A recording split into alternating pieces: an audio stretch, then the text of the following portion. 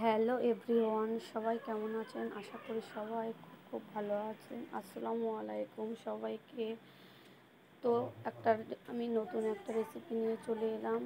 আবারও হাজির হয়ে গেলাম তোমাদের সাথে। তো রেসিপিটা শেয়ার করতে চলেছি। প্রথমেই আমি বলব যে কুমড়ো শাক কিংবা লাউ শাক, লাউ পাতা কিংবা কুমড়ো পাতা কিংবা মিষ্টি কুমড়া পাতা যে কোনো পাতা দিয়ে, পাতার ভর্তা আমি আজকে তৈরি করব।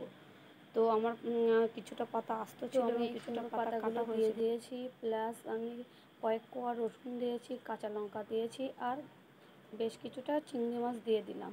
দিয়ে কিছুটা লবণ হলুদ দিয়ে তাওয়ায় আমি কিছুক্ষণ জাল দিয়ে পাতাগুলো নরম করে নেব এবং একটু ভাজা ভাজা করে নিলাম একটু তেলও দিয়ে দিলাম। এগুলো আমি নামিয়ে ঠান্ডা করে আমি শিলপাটায় বেটে নেব। আমি অত বাবা শিলপাটায় বাটতে পারি না তবুও আমি বাড়ছি শুধু টেস্টের জন্য। নয়তো আমি মিক্সিতে গ্রাইন্ড করেও নিতে মিক্সিতে গ্রাইন্ড করেও নিতে পারেন এবার বাতাটা বাটা হয়ে যাওয়ার পরে আমি কিছু কুচানো পেঁয়াজ, একটু ও সরি আমি আজকে পেঁয়াজ দিতে ভুলে গেছি। কুচানো পেঁয়াজ দিয়ে আর সর্ষের তেল দিয়ে মাখলে খুব সুন্দর আরও লাগতো। কিন্তু আমার এই বাটাটা অসম্ভব সুন্দর হয়েছে। আমি জাস্ট সর্ষের তেল দিয়ে আমি মেখে নিয়েছি।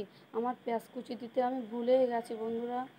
তো আমার মতো কেউ ভুল করো না। পেঁয়াজ কুচি দিলে আরও বেশি ভালো, সুস্বাদু হতো টেস্ট হতো গরম ভাতের সাথে জাস্ট সুন্দর লাগবে। একবার ভাত খেলে বারবার খেতে মন চাইবে এই এই ভর্তা দিয়ে।